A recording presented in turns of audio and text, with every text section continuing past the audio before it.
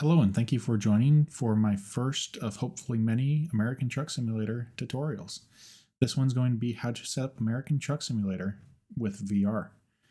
So to start, what we're going to do is we're going to go to Steam, you're going to go to your library, and you're going to locate somewhere in your games menu here, American Truck Simulator.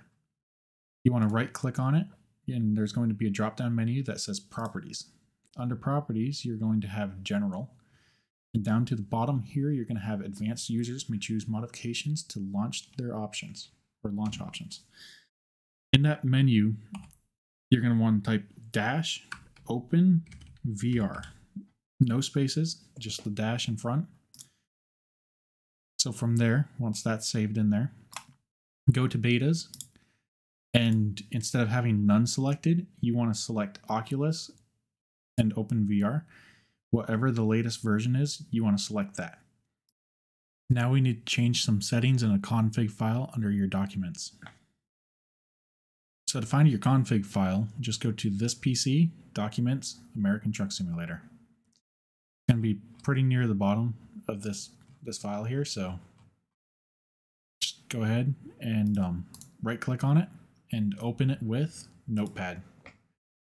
So inside Notepad, there's a lot of settings here, but don't worry, we're not looking at most of those. What we're going to do is we're going to look at the Open VR mirror mode. And I set that to 1, the difference between the default, which is 0, and 1. 0 is going to display on either the desktop or the VR headset. 1 is going to display on both of them at once. But the desktop is going to do like a dual display, and you'll see that here near the end of the video. Because it's showing what both eyes are seeing. The second option, I just recommend leaving that at zero. And then for your third option that you're going to change in here, uh, you're going to change after you've played in VR a little bit, but it's called stereo buffer, stereo underscore buffer. So just use the find option with control F and type in stereo underscore buffer, find next. And it's going to bring you to this setting here. And what that's going to change is how good the game looks. So this is all dependent on what your PC hardware can handle.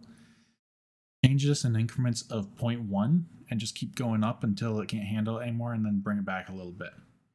So then make sure to press Control S to save that. Close out of it. And now we're ready to launch American Truck Simulator and play it in VR. It's going to open up VR automatically for us. And make sure to throw on your headset at this point as well.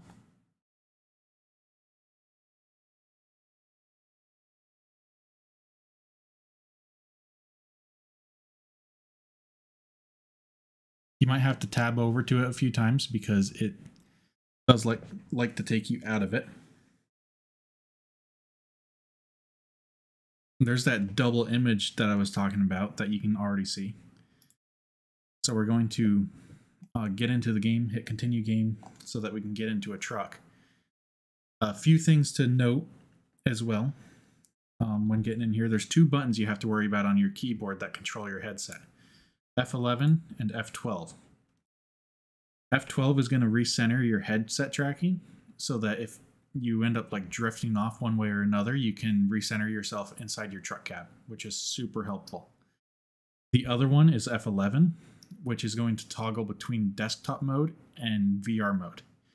So the VR mode is going to display in the headset and use the headset tracking. Desktop mode is going to display on the desktop and have no headset tracking. So right now, I've got the headset tracking. I can look around. This game is essentially ready to go in VR. Uh, but you might have to press F11 to toggle that. It only works in a menu though. So if I go back to the menu, you can see that's showing one display. That's desktop mode. Now it's showing both eyes and I have headset tracking so that's VR mode. And then the recentering just simply works like this. You press F12 and it's going to keep putting you back where you're supposed to be and recenter you.